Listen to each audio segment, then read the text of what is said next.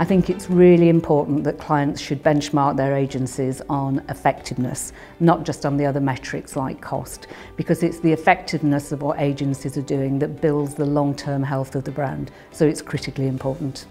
Camelot has entered the IPA Effectiveness Awards on four separate occasions with our agencies and we've found the experience extremely useful. Although everything we do at Camelot actually goes through an ROI process anyway, to do such an in-depth evaluation of a major project was incredibly valuable.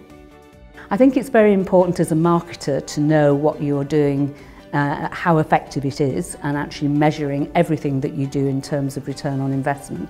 But actually it's very important to have something to take into the boardroom when you're in there negotiating your budgets and the marketing spend for the next year. You know, the killer chart that shows the effectiveness of what you've done uh, over the last year is vitally important.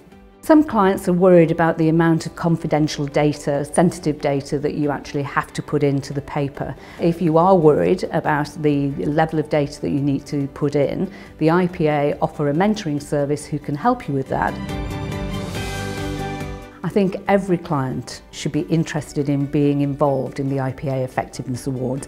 And the starting point is talk to your agencies because they should be there as well. This is a real opportunity for the agencies to have the mark of approval of the judges to show the work that they've done is really effective. So talk to your agencies and get those papers in there. It's really worth it.